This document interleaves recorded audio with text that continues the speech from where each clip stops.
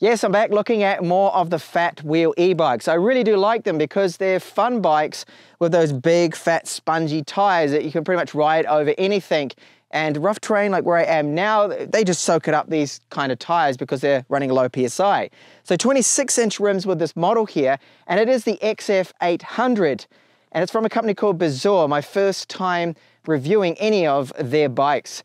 So we have a battery that is removable, lockable. It's 11 amp hours, which should give us a range of up to 50 kilometers. I can give you a bit of a spoiler here. It's more like 40 kilometers. 160 millimeter mechanical disc brakes. Yes, sadly mechanical. They're not hydraulic, which would of course be better. And then with the mid-mount motor system, it's 500 watts. It's a Truckrun brand of mid motor. Normally I see Bafang with these. So we have seven speeds with our gears. The bike's weight is pretty heavy as you can imagine.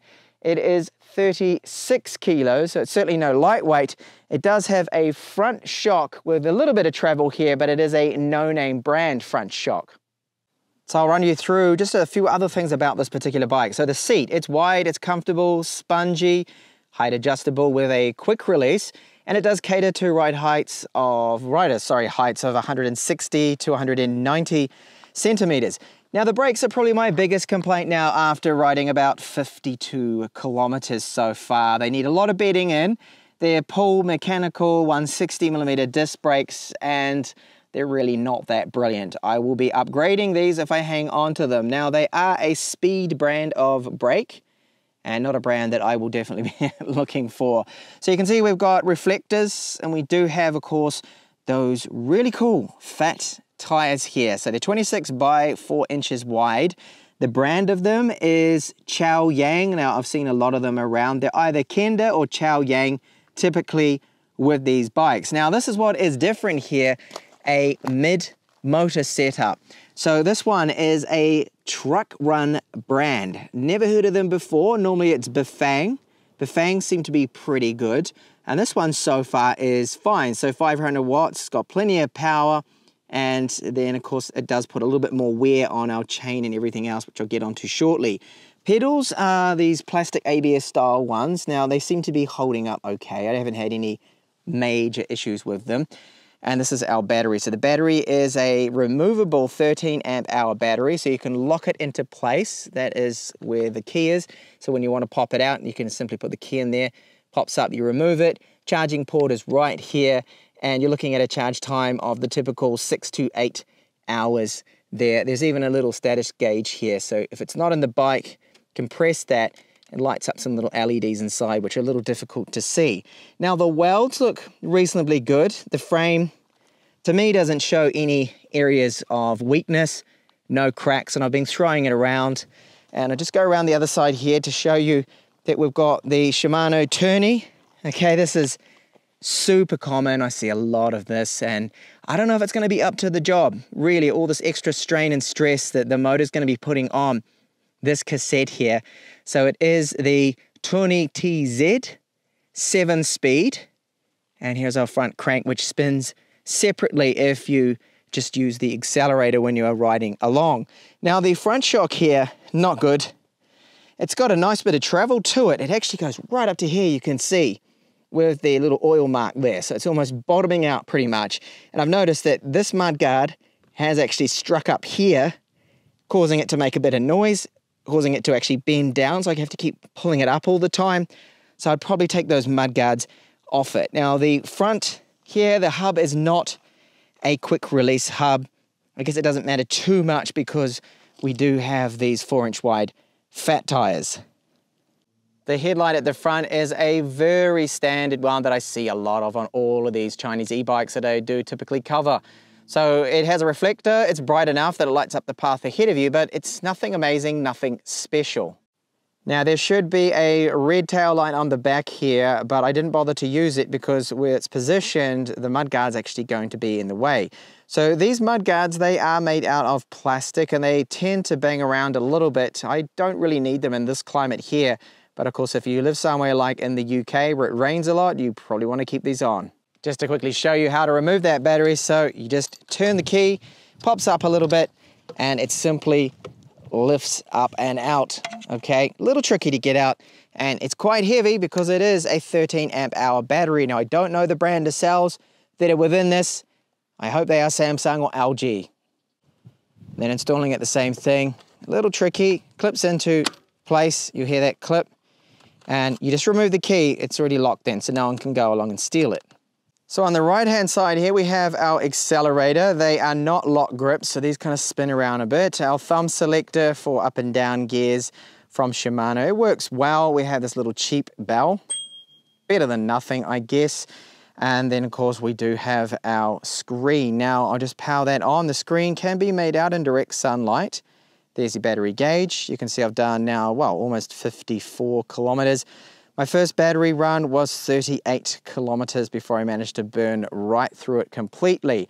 So tapping the button here, you can cycle through your trip and odometer. That is it.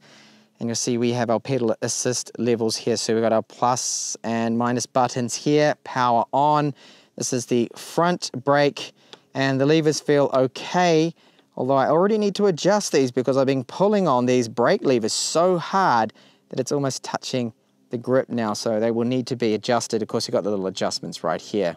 And onto my ride test now of the XF 800. So we've got that kickstand, it's doing a good job, it's holding it up just fine. It hasn't rattled and it's able to hold up that 36 kilos. It's a very heavy bike. So it can be lowered right down the seat to cater for people out of 160 centimeters tall up to 190. So that's good. This frame design is uh, that that you can of course lower that seat right down. Now as soon as you start pedaling, you get that power pretty much uh, straight away, which is great. It doesn't seem to take too long to sense that you're pedaling, you're moving, and it gives you that power. Now the gear changes, I haven't had any problems with them at all. They seem to be just fine. You can hear the motor a little bit as I ride along. Mid-mount motor in this one, so it is different. So a bit of a tip here, when you change gears, don't pedal. Stop pedaling when you change the gear and then start. This way you take a bit of that stress, the tension off the chain and you should be able to increase the lifespan of it a bit more. I'm always worried with the mid-engine mount e-bikes, especially with this kind of low-end Shimano, if it's going to be able to hold up to the extra wear and tear a mid-range motor puts on it, especially on the chain and the rear cassette. Top speed of the bike, you're looking around about, just under my own pedal power, about 34 kilometers per hour. Now if you do have it unlocked, it'll keep powering you right up to about 40, 45. But the way it is geared with the seventh gear, I'm just pedaling as fast as I can now downhill. I'm able to then get it up to around about 40 but I'm running out of gearing really. I can't go any faster than this because my legs are spinning around so quick. Still, it feels fast enough for a bike like this. So the bike for pulling out in intersections is good because we do have the accelerator here and because it's all through the gearing, make sure you're in the right gear of course. I'm in first gear here. So as I pull away, I just don't even need a pedal. I can just use that accelerator and it's got enough torque to do that. And again, that tip that when you change gears, try not to pedal, try not to put the stress or accelerate at the same time as you're changing those gears too is a good idea for that chain. And you can go along here quite happily. So it is a different riding style compared to the rear hub motors. The mid motor, a lot of people do like because of course it is driving those gears. Climb test now. So this is about 25 degrees. I'm in the second gear here, but I am in the pedal assist level 5 of 5, so the maximum here, and it's a 500 watt motor. Now, going up this, not really a problem at all for me in the second gear. This is very easy. I can probably change gears, in fact I will. Now onto the third gear. And what if I stop pedaling? I'll just use the accelerator now. It's able to do it but I'm slowing down to around about 10 kilometers per hour now. If I start pedaling, I'm able to maintain a much higher speed here of about 14, well, 16 actually now that I'm doing as I climb all the way up to the top of this steep climb. Brake test now. So we have a heavy bike. It's about 36 kilos and from this post here doing about 30. Full on brakes. Oh, that is a little longer than I like that it takes this bike to stop due to the weight, due to the fact there are mechanical disc brakes, 160 millimeter ones. If there was one thing I would do to this bike, if I was gonna hang on to it, I would definitely upgrade these brakes probably to 180 millimeter and go with a hydraulic cable pull but hydraulic piston like the Zoom ones you can get. So I've made it up to the top here. It's a very steep climb. Now I did run into a bit of a problem. It gave me an error 10 on the screen it flashed and I seem to have lost all power. What happened I think is because I was using a pedal assist level 5 on the whole climb up, it overheated. The motor was scorching hot. I let it cool down for two minutes and now everything seems to be fine again. So I'll report back or I'll put a comment in this video if I keep getting that same error.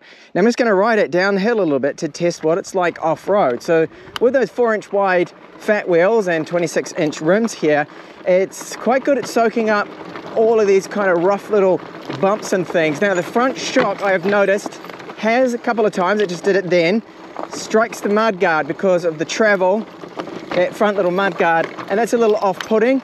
But going over all these rocky bits, because of these nice fat wheels, it's not actually too bad if you're gonna be riding down some rough trails here. But you wanna get that seat post as low as possible, of course. Now let's see how it handles climbing up the more rocky stuff. This is very steep, so I don't imagine I'm gonna have a very good time here. I'm in the first gear, so pedaling straight away. And I guess if you keep on top of the power there, your speed, you can plow through everything like I'm doing right now here and it seems to be working all right. It's a little rough going and that suspension again making a little bit of noise. I think it's the mudguard striking but it's climbing actually surprisingly well up this rough stuff here. So it climbs a lot better than it looks, definitely.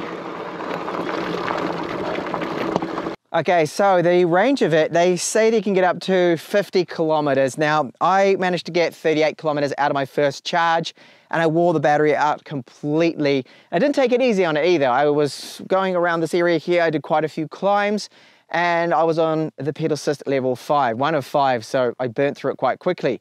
I don't think that was too bad considering how heavy the bike is, and it's a 13 amp hour battery. Now, if it was a 19 amp hour battery, that range would be terrible. I'd be expecting quite a bit more. So if you do take it easy on the battery, you ride over 25 kilometers per hour, you should be able to see a lot more. I would say maybe around 40 kilometers, 45 is the kind of range you're looking at out of this bike considering it is quite heavy.